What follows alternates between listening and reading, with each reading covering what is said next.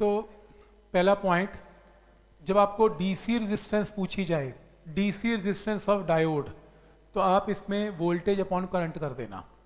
लेकिन जब आपको एसी रेजिस्टेंस पूछी जाए तो change in voltage by change in current करना। बाकी ज़ीरो डायोड की ये फॉर्मूलाज हैं, कुछ याद करने की ज़रूरत नहीं है, इसको सीधा क्वेश्चन में देखेंगे। क्वेश्चन नंबर वन जो करेक्टरिस्टिक्स पे आपको सॉल्व करना है figure shows characteristic curve of a junction diode ठीक है, वो जंक्शन डायोड का करेक्टरिस्टिक कर्व है आईवी कर्व है, और ये मिली एम्पियर है। Find DC and AC resistance कब? पॉइंट तीन वोल्ट पे। तो आप पॉइंट तीन वोल्ट पे जाएँ, पहले डीसी निकाल लें। पॉइंट तीन वोल्ट को पॉइंट तीन वोल्ट रखें, इसके कॉरस्पॉन्डिंगली करंट निकाल लें तो सिंपल वोल्टेज पॉइंट तीन करंट मिली एम्पियर में कन्वर्ट कर लेना। आंसर तो डीसी रेजिस्टेंस आ गई। फिर कहेगा एसी रेजिस्टेंस निकाल लें। AC resistance is change in voltage एक काम करें पॉइंट तीन के आगे और पॉइंट तीन के पीछे पॉइंट्स मार्क कर लें। जैसे ये दो पॉइंट्स हैं। तो इसका डिफरेंस ले लें। तो ये कितना है? जैसे पॉइंट तीन और पॉइंट टू का आधा पॉइंट तीन और पॉइंट चार का आधा। तो इनका डिफरेंस लें और फिर इनके कॉरस्पॉन्डिंगली करंट का भी डिफरेंस लें। तो जैसे इसने ले लिया point three five point two five और ऐसे ही सिक्स और तीन एम्पियर वहाँ से करंट लिया होगा इंटू टेन की पावर माइनस थ्री आंसर तो डिफरेंस समझ में आ रहा है क्या करना है? डीसी में तो एक बाई एक वैल्यू एसी में चेंज इन वोल्टेज और चेंज इन करंट ले लेते हैं। ठीक? नेक्स्ट क्वेश्चन ये रहा ट्वेल्थ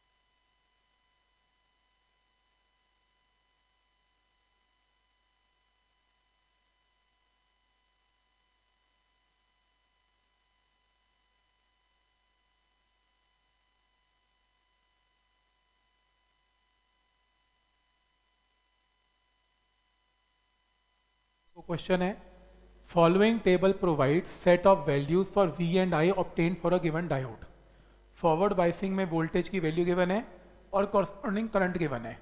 रिवर्स बाइसिंग में वोल्टेज की वैल्यू गिवन है और करंट गिवन है.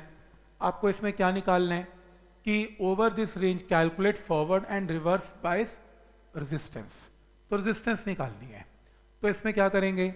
फॉरवर्ड बायस रेजिस्टेंस में क्या करेंगे डेल्टा वी निकाल लेंगे हमने वोल्टेज कैसे चेंज की दो से चार दो पॉइंट चार की तो चेंज इन वोल्टेज और इसके करस्पॉन्डली चेंज इन करंट तो ये डिवाइड किया आंसर ऐसे ही इसमें change in voltage change in current तो change in voltage change in current answer तो पॉइंट समझ में आ रहा है यहाँ तक तो यहाँ पर change in voltage change in current यहाँ पर change in voltage change in current तो डिवाइड करके रेजिस्टेंस आ जाएगी नेक्स्ट देखो थर्टीन क्वेश्चन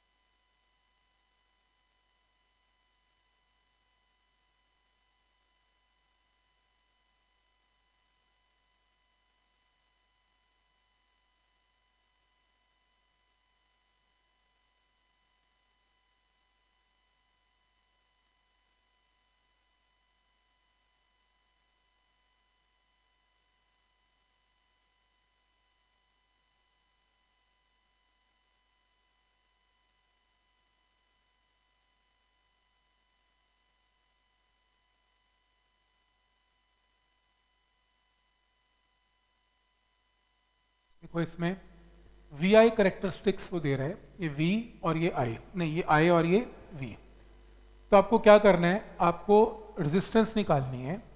जब वोल्टेज ये प्लस माइनस नहीं है, ये सिर्फ़ प्लस है। प्लस दो वोल्ट है और प्लस वन वोल्ट है।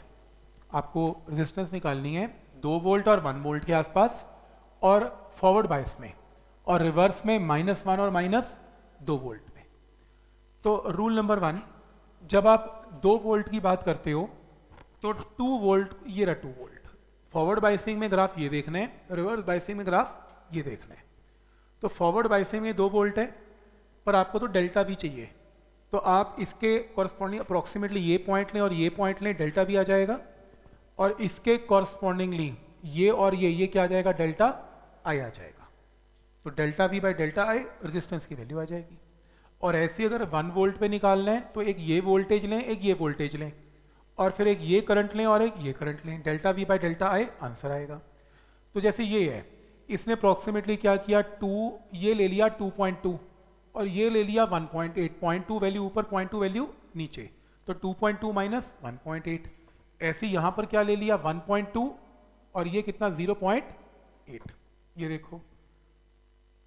ये देखो। दो वोल्ट पे 2.2 1.8 और करंट की वैल्यू, वन वोल्ट पे 1.2 0.8 करंट की वैल्यू। तो ये दो आंसर आ गए। ठीक है यहाँ तक? तो अप्रोक्सीमेट वैल्यूज़ लेके आपने आंसर निकाल दिया रेजिस्टेंस का। राइट ये समझ में आया कैसे किया? देखो देखो अप्रोक्सीमेट है। अप्रोक्सीमेट अप्रोक्सीमेट है। हाँ अप्रोक्सीमेट है ये। आप, आपके आंसर वेरी कर सकते हैं इसमें। जब आपने, आपको वो रीडिंग ना देना, आप कोई ये रूल थोड़े ना है कि टू की जगह टू पॉइंट टू ही लेगा कोई। टू पॉइंट थ्री भी ले सकता है वो। अब वो आपको, आपके मल्टीपल आंसर आ सकते हैं, उसमें कोई प्रॉब्लम नहीं है। आप, कोई कहता है two point three one point seven लेता हूँ तो क्या कोई कोई रोक थोड़ा सकता है? स्केल या तो दे प्रॉपर तो इसमें तो जो है, वो है। ठीक है, पर आपको वैसे प्रॉपर स्केल गिवन होना चाहिए उसमें। तो अभी क्या है, एक तो ये आंसर आ गया। अब मेन एक और चीज़ देखो इसमें। अब अगर सेम आंसर करो माइनस वन पे और माइनस दो पे। अब मान लो ये माइनस दो है। माइनस टू के कॉरस्पॉन्डिंगली देखो जो करंट है ना, वो फ्लैट होता है इसमें शुरू में। रिवर्स बाइसिंग में अभी ब्रेक डाउन नहीं हुआ। ब्रेक डाउन में करंट अप्रोक्सीमेटली यहाँ पर ये मार्क कर लेना करंट जो भी है। यहाँ पर जो भी है, ये करंट मार्क हो जाएगा। जैसे इसने क्या करंट लिया यहाँ पे? माइनस पॉइंट ट्वेंटी फाइव लिया। मार्किंग कर लेना।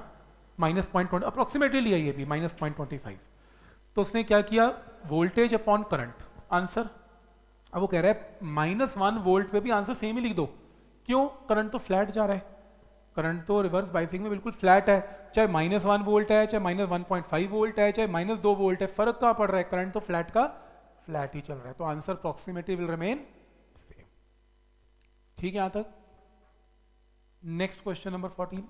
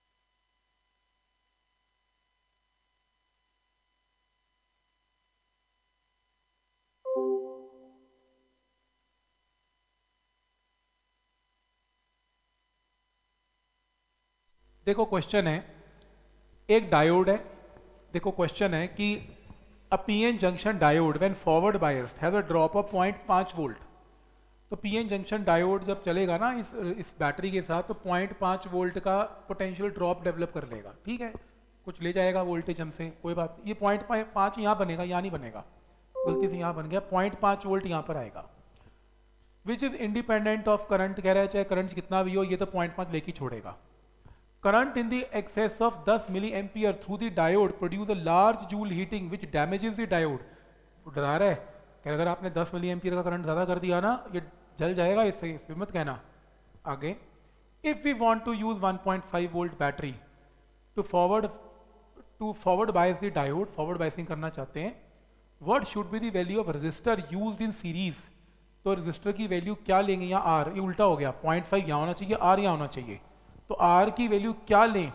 So that maximum current does not exceed पाँच मिली एम्पियर तो वो चाहता है कि आर की वैल्यू क्या हो?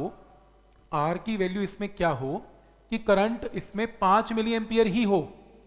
करंट पाँच मिली एम्पियर ही हो. तो दस मिली एम्पियर क्या है? वो तो बता रहा था, अगर तुम दस कर दोगे ना तो जल जाएगा. तो दस मत करना, पाँच ही रखना. तो यानी कि वो स्टेटमेंट सिर्फ़ कंफ्यूज करने के लिए है पाँच ही लेना है करंट आपको, क्योंकि वो कह रहे जब पाँच मिली एम्पियर है तो रेजिस्टेंस बता दो। तो इसमें करना ही कुछ नहीं है करंट इलेक्ट्रिसिटी है। देखो टोटल वोल्टेज 1.5 है, इसमें से ये कितना लेगा? 0.5 1.5 इज़ इक्वल टू 0.5 और बाकी कौन लेगा? आई इन टू आर आई इन टू आर और आई कितना है? पाँच मिली एम्पियर आर निकाल लो। तो डायोड की प्रॉब्लम कहाँ? ये तो करंट एंड इलेक्ट्रिसिटी की प्रॉब्लम है। तो हो गया क्वेश्चन सॉल्व आर निकाल लेना। ये तो एम ही घुमाई जा रहा है, एक बर्न कर दूँगा, ये कर दूँगा, वो कर दूँगा, कुछ नहीं करना। उसने आधी प्रॉब्लम अंदर से करंट इलेक्ट्रिसिटी की ही निकलेगी है ठीक? जैसे इस question sixteen question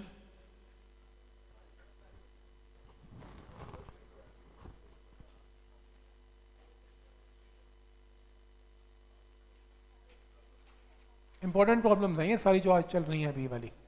important sheet है ये।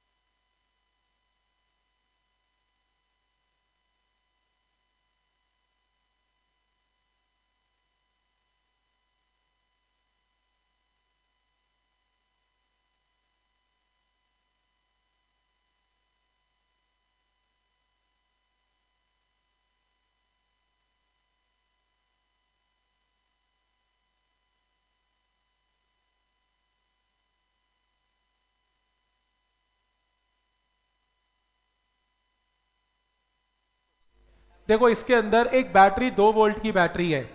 दो वोल्ट की बैटरी है। ए और बी पे लगेगी। Current drawn from the battery if positive terminal is connected to point A देखो, इसमें क्या करेंगे? दो केस है। एक बार आप बैटरी का पॉजिटिव यहाँ लगाओ नेगेटिव यहाँ लगाओ। ये इंपॉर्टेंट है। पॉजिटिव इज़ कनेक्टेड विद यहाँ पर एन और यहाँ पर positive is connected with P तो ये फॉरवर्ड बाइसिंग ये तो इसको तो हटा दो, क्योंकि रिवर्स बाइसिंग में करंट को पास होने देगा नहीं, लगाने का फ़ायदा ही नहीं है। तो इसमें करंट निकाल लेना वोल्टेज अपॉन रेजिस्टेंस लेकिन जब आप उल्टी बैटरी लगाओगे नेगेटिव और ये पॉजिटिव तो अब ये नेगेटिव विद एन तो ये फॉरवर्ड बाइसिंग और ये रिवर्स तो करंट इज़ वोल्टेज अपॉन 20 तो एक बार ऊपर वाला फॉरवर्ड हो जाएगा, एक बार नीचे वाला फॉरवर्ड हो जाएगा। समझ में आ रहा है यहाँ तक? तो जो फॉरवर्ड होगा, उसको रख लेना, जो रिवर्स होगा, उसको हटा देना। सेम पैटर्न पे ये क्वेश्चन है। डायोड की ये आइडल डायोड है। आइडल डायोड का मतलब उनकी कोई रेजिस्टेंस नहीं है, पर लगे हुए हैं। तो इसमें करंट बोलो क्या होगा? देखो ये प्लस है plus is connected with P N is connected with N forward biasing है। फॉरवर्ड बाइसिंग में करंट अलाउ करेंगे दोनों डायोड्स तो करंट होगा voltage upon resistance answer simple इसमें प्लस इज़ विद पी लेकिन एन इज़ विद पी नहीं। ये फॉरवर्ड रिवर्स बाइसिंग हो गया। तो एक फॉरवर्ड एक रिवर्स रिवर्स वाला करंट को ब्लॉक कर देगा। तो करंट इसमें क्या रहेगा? ज़ीरो नेक्स्ट इसमें। ये positive with P positive with P negative with N negative with N दोनों फॉरवर्ड हैं। तो दोनों लाउ करेंगे करंट कोई बात नहीं। तो टोटल करंट क्या होगा? वी अपॉन आर आंसर इसमें पॉजिटिव विद पी एक करेगा और एक नहीं करेगा। कोई तो करेगा। तो करंट तो जाएगा ही। वी अपॉन बस एक में करंट नहीं जाएगा बाकी तीनों में करंट जाएगा। तो कैसे देखना समझ में आ रहा है? बस इसमें बाइसिंग ही देखनी है फॉरवर्ड और reverse biasing that set online clear है? यस सर अब है जीनर डायोड आप जीनर डायोड की स्टेटमेंट खुद पढ़ लें और देखें क्वेश्चन क्या है।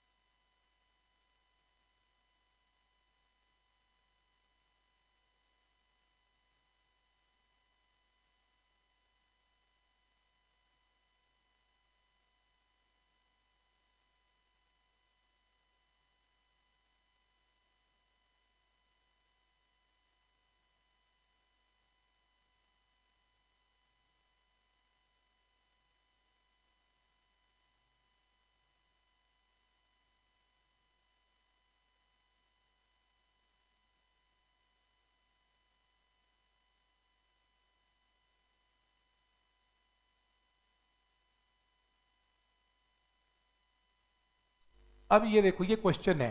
10 वोल्ट का जीनर डायोड है। 10 वोल्ट का जीनर डायोड है अलॉन्ग विद सीरीज़ रेजिस्टेंस ये रहा सीरीज़ रेजिस्टेंस कनेक्टेड 40 वोल्ट की सप्लाई है। मैं लिख देता हूँ। यहाँ पर कितने वोल्ट की सप्लाई है? 40 वोल्ट की सप्लाई है। 10 वोल्ट का जीनर है। Calculate minimum value of resistance required R आपको निकालना है। अगर maximum zener current is 50 milli ampere तो आपको आई वन मैक्सिमम कितना गिवन है? 50 मिली एम्पियर मुझे एक बात बताओ, क्या इसका ब्रेकडाउन होगा कि नहीं होगा? जीनर का। होगा। तुम कितनी दे रहे हो? 40 और वो कितना ब्रेकडाउन पे होता है? 10 तो होना ही होना है। ठीक है?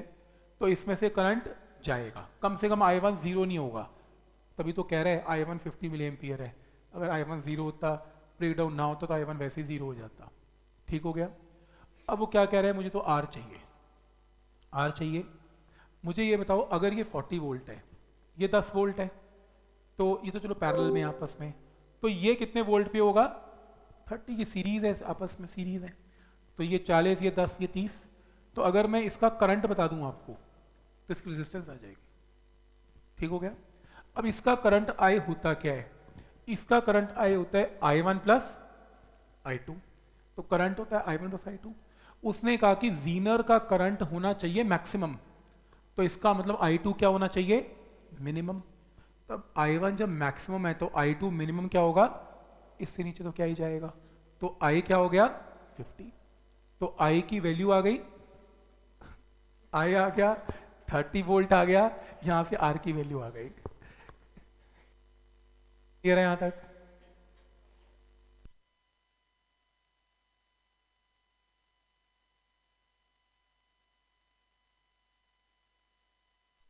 हाँ जी। ठीक है ऑनलाइन क्लियर है? यस सर ठीक। इलेक्ट्रिसिटी बेस्ड नहीं है। जीनर ने क्या किया? कुछ भी नहीं। जीनर पता है क्या करता है? बस अपनी अपनी वोल्टेज को फिक्स रखता है। तुम कहते बाकी जो मर्ज़ी करते रहो मेरे को दस दे दो। बस ये इसका रूल है। फिर देखते हैं। नेक्स्ट क्वेश्चन पढ़ो। ये टू किलो ओम है। करेक्शन करना। टू किलो ओम है। अब करो पढ़ो क्वेश्चन एक बार।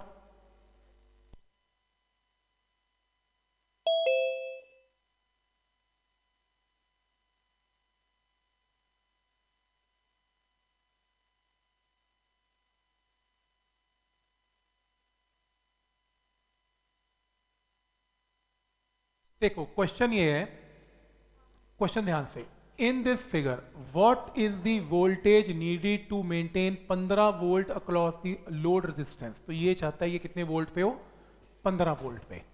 एंड इसकी रेजिस्टेंस की वैल्यू कितनी हो? 2000 ओम 2 किलो ओम का मतलब 2000 ओम आर की वैल्यू कितनी हो? 200 ohm and zener requires a minimum current of तो जीनर का करंट कितना है? 10 मिली एम्पियर गिवन है। What is the zener rating चलो बात की बात है। तो मुझे इसमें निकालना क्या है? What is the voltage required to maintain 15 volt मेरे को पीछे से नेट वोल्टेज बतानी है, कितनी रखी जाए। नेट वोल्टेज क्या हो? कि इसको 15 वोल्ट मिल जाए। ठीक? इसको 15 वोल्ट मिलने का मतलब इसके क्रॉस भी 15 वोल्ट ही है, क्योंकि दोनों किसमें कनेक्टेड है? इन पैरेलल तो ये 15 वोल्ट की रीडिंग रखता है इसका मतलब। रेटिंग इसकी 15 वोल्ट है। अगर ये पंद्रह है तो अगर मैं इसका वी बता दूँ आपको तो जो भी वी आएगा उसमें पंद्रह ऐड करके आंसर आ जाएगा। नेट वोल्टेज क्या होगी? पंद्रह प्लस दिस अब इसके लिए मुझे क्या चाहिए? करंट अब ये करंट कैसे निकलेगा? इसका करंट मुझे पता है। अगर मैं इसका करंट बता दूँ, निकल आएगा। वी पता है आर पता है। तो करंट आ जाएगा। इसका करंट आ गया। इसका करंट गिवन है, दोनों को ऐड करके आई आ गया।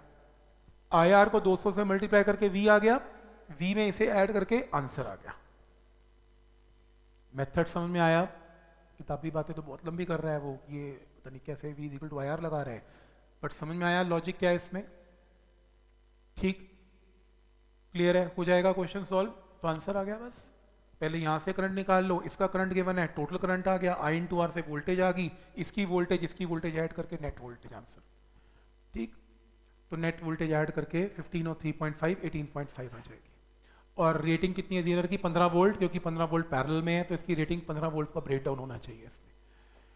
तो ये करेक्टरिस्टिक्स के कुछ क्वेश्चन हैं। एक बार एक बार होमवर्क ट्राई कर लेना इसमें।